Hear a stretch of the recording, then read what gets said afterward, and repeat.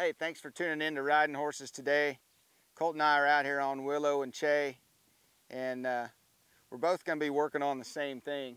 We're both trying to get these horses to lope around, walk around, trot around, primarily lope around, and lower their head and their neck. So instead of just rolling this horse up in the bridle and getting their neck round, we're trying to get them to break more at the withers and, and their whole head gets closer to the ground, okay? Not necessarily leaning forward, okay? We're still gonna use our feet to lift the belly, but we want all of this. You see where this mare's head is right now?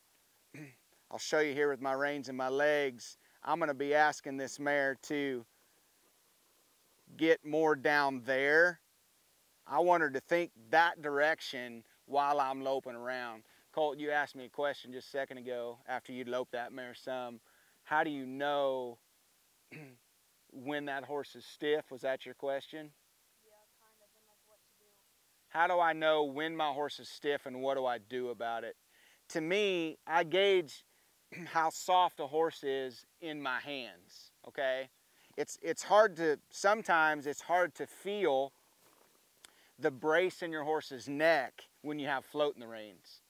But as soon as you take the float out of those reins and you make contact at all, and you now have contact on that horse's mouth, you should be able to feel all of the brace between the withers in their ears, in their neck. Okay, this is supposed to be the most flexible part of your horse's body. And sometimes when you're riding one around, this is the stiffest part. I need this to be flexible because I'm going to be able to set a horse up for a specific maneuver if I can put their head in different places. Okay? Both these horses want to lope around naturally with their head up. We're trying to teach them how to find more fluid forward with their head and their neck a little bit lower. Okay? So just like you were doing as you're trotting or loping around, we're going to think about our hands down here closer to our knees. You see how much distance I have? I have enough frame between my hands. My hands are wider apart than my knees, but I'll bring it back to my knee and I can feel that rein just rubbing right over the top of my knee. Okay, that's the spot that I'm going to go to to say to this horse, I want you to drop and break at the withers. Okay, when we're lifting straight up to back these horses up, yes, the nose is still going to roll that way, there we're trying to lift the withers up and shift the weight to the hindquarters to help them horses back up. But that mare right there, we can't really do that on her without making those front two legs like two pogo sticks. okay, and she really wants to just lock them knees when she stops. Okay, so if you want to just go trotting around, you've trotted some, you've already loped some. I haven't trotted or loped this mare at all, so I'm going to get kind of get her warmed up and play around with it a little bit. You go keep working on what you were doing. If you have any questions, you stop and you come ask me. I'm going to keep talking for the camera about what this mare's doing, and every now and then we'll stop and we'll get the camera on you to watch what you're doing because we're both working on the same thing out here, okay? Just remember, I'm not fixing all of this or changing all of this with just my reins. Make sure you use your feet with your reins, okay? Sometimes I'm gonna actually ask that horse to get softer off my legs than, I, than just my reins, okay? And as I'm using my legs, I'm kind of getting a lifting effect under their belly, okay? Your legs are finally getting long enough to hang down past the widest point of that horse's barrel, so now you can lift a little bit, okay? All right, from that spot, as you walk off, see if you can, see if you can get her to walk off like that. And then you go do what you were doing. So as the camera stays on me here, so I'm using my legs, I'm using my reins. my, my reins are gonna drift right over my knee. And I want this horse to figure out that it can lower its head.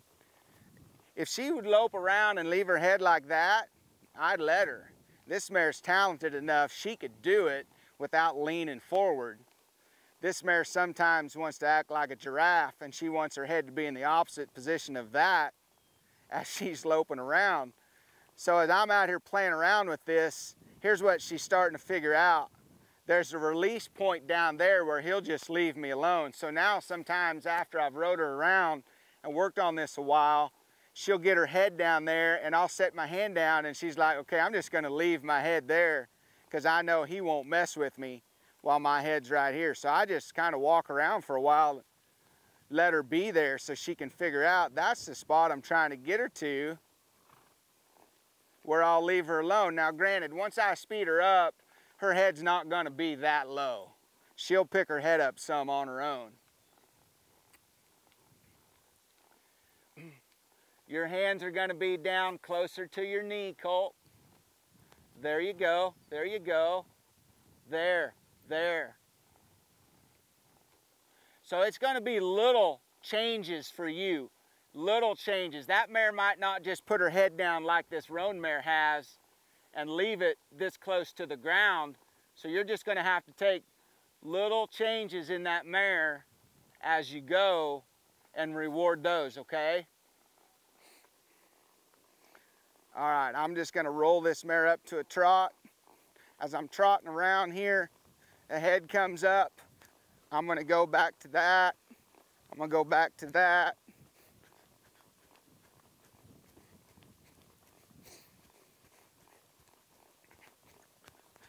So uh, you can see when I pick my hands up, my hands come back here just above my knee. I've kind of got some rhythm with my hands. And then when I'm trotting, if she'll leave her head there and not get any higher than that, I will leave her alone.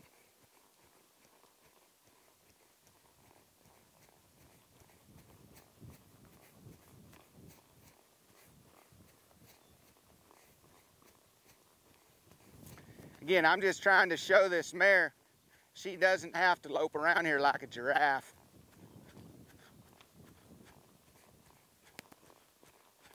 But show them that's the spot where you'll leave them alone.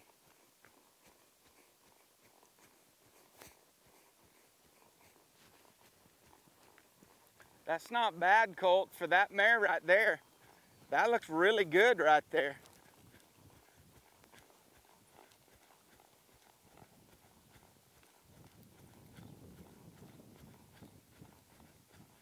Okay, when you get over here to the banners, you're gonna bring her back to a walk, okay?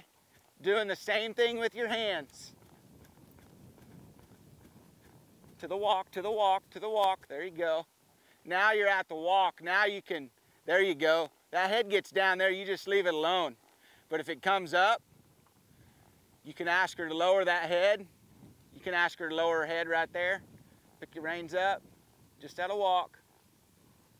There you go. Turn loose of it. Good job. If she'll leave her head there or lower, you can just kind of leave her alone and walk around for a minute. So watch me here for a second, Kolt. As I roll up to a lope right here, if, if your horse is struggling to get her head down there, okay? If she's struggling to get her head down there, I'm not gonna lope, but just a circle here so I can show you. This mare's doing pretty good for me right here, but let's say she wasn't. When I bring her to a walk right here, now that I'm at the walk, I'm really gonna exaggerate it and say, I might not be able to get your head very low at a lope, but by golly, when I get you to a walk, I sure can, okay? And it's just, it's just little bits at a time, not trying to make a big deal out of any of it but just trying to show them there's a spot down there where we will leave them alone. And if they'll lower at the withers, lower their head and their neck and lope around, they can find, in my opinion, some more fluid forward motion than when they're loping with their, their head at a neck at a 45 degree angle coming out of their shoulders because all that energy's coming this way then. Okay? I thought that looked pretty good. Again, you can't compare these two horses, okay? It's easier for this horse to travel around with their head lower than it is that one. So you're gonna have to work at it a little bit harder and show a little bit more grace at times with that one. Maybe even take a smaller change in that horse. I might get a bigger change out of this horse.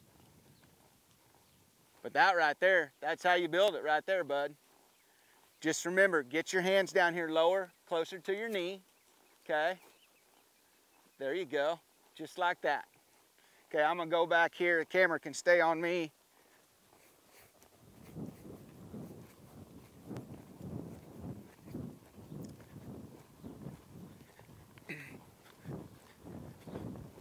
And I'm just, I'll just lope a couple circles here.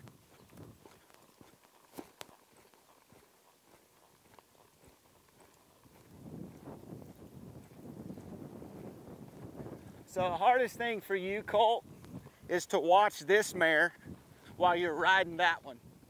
Because you're gonna watch this mare lope like that, and you're gonna go ask that horse to do the same thing. And it's two different horses, okay? Yeah, I'd like all my horses to lope like this right here. But I can't ask that horse you're sitting on to be this one. So I gotta take what I'm what I've got and I've got to build it into the best I can possibly get that horse.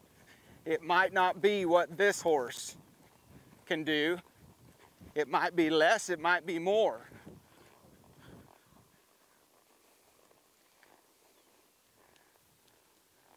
Okay, so I'm just gonna walk right here and I'm gonna let you go lope a circle. Which way were you just going? You were going right, let's go ahead and go left. So I'll let the camera go with Kolt.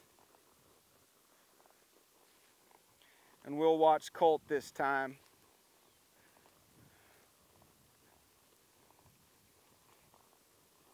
Again, this is something that is relative for every horse, guys. What one horse can do doesn't necessarily mean the next horse can do. I've got to figure out what the horse I'm sitting on is capable of and just help them reach their best potential. Kolt, that looked super. That to me on that horse, that looks amazing to me on that horse, bud.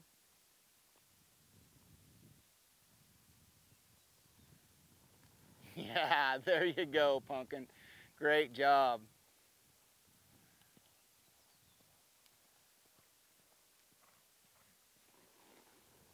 Okay, while you're doing that with your hands, we're going to let her come back to a walk. Now really say, you might not have got it where I wanted it at a lope, but you darn sure can at a walk. Exaggerate some more. There you go. There you go. there you go. So almost every time I come to a walk, I will exaggerate what I was asking for at a lope and maybe didn't even get. Does that make sense? Yeah. Okay, why don't you sit right here? I thought that looked super cool. That was, that was so good for that little horse. I'll lope this horse to the left and we'll see what she looks like.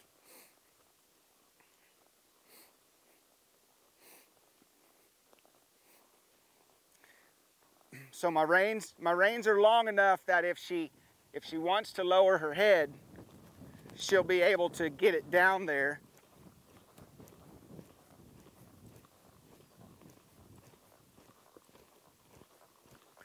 So I can tell you already, this mare is more fluid loping to the right than she is here to the left.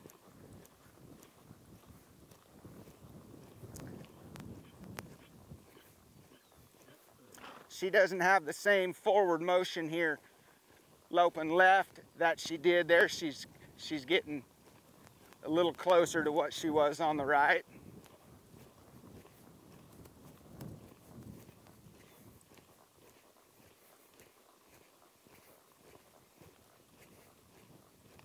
To me, once those horses kind of find that fluid forward motion, you'll kind of see their heads stay put. This mare just needs to spend some time loping out here to find that same, there we go, that same fluid here going to the left.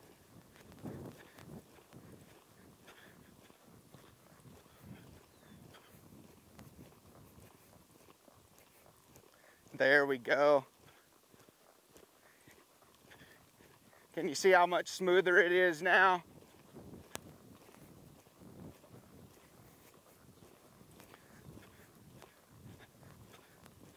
Takes a lot of, a lot of time and a lot of repetition. Again, at the walk, I'm really gonna exaggerate it. Might even exaggerate my legs a little bit. See, that's what I'm after right there. Good job. Good job. Well, obviously, we both could be out here really helping these horses find some fluid forward motion as we're working on that. We both saw some progress in these horses today. You feel a difference in that mare? Yeah. We just got a lot of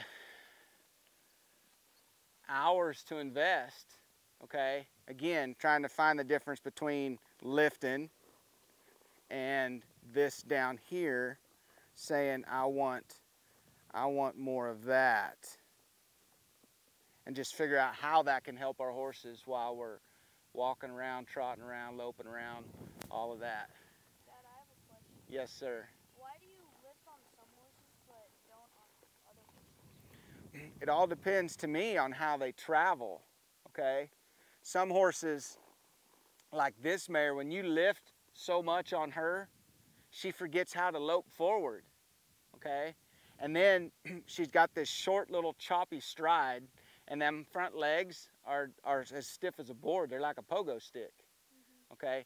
That mare needs to stride out a little bit and lope forward and figure out how to reach with her hind feet up underneath herself and not just be loping around like this because we're lifting so much. Okay, now I might crawl on one of those two horses over there and be able to lift. In fact, I can even lift on this one. But if I lift too much on this one, I'll cause the same thing to happen on this mare that, that'll happen on that mare. it just doesn't happen as quick. This mare's default reaction to everything you do is to elevate her head and get real stiff with her front legs. Okay? So also, what do you build whenever you lift? What do you build? The idea of lifting is to be able to feel that horse lift this direction. Okay? You're trying to lift the belly, lift the back, and potentially be able to shift the weight from the front feet back to the back feet. So why why would you want to do that? Would you want to do that while you're loping around? Yeah, you want to be able to lift a horse while you're loping around because if you can lift them up, what do you do when you back up? Don't you lift? Yeah. Okay, if you think about the feel that you have when you back up, where the withers are going, what the hind feet are doing, what the hips doing, you got to have that same thing to be able to stop. Yeah. So I, while I'm loping around, if I can have that lifting effect while I'm loping, then my horse is going to be more prepared and positioned to stop while they're loping. Okay. Does that make sense? Mhm. We're not really worrying so much about the stop today as we're just trying to get these horses to figure out how to break at the withers, lower their head, and just go lope forward, okay? Once a horse gets soft from here forward, then when you go to pulling on them, drawing them into the ground and all that stuff, they don't brace on you so much and you can teach them horses how to get in the ground a lot smoother and not lock them front legs. There's been times where you've stopped that mare and I could have put a basketball underneath your butt because she would bounce you up out of the saddle. So that's kind of the idea. Great job today, bud. Hey, thank you guys for tuning into this episode of Riding Horses. I hope this is something that uh, maybe can benefit you and what you're working on. Maybe just help your horse lope a little bit smoother, a little bit more forward as you're out there riding. So thank you again. Go to kerrykuhn.com for more information about our horses for sale, our clinics, our lessons, and everything else we're doing.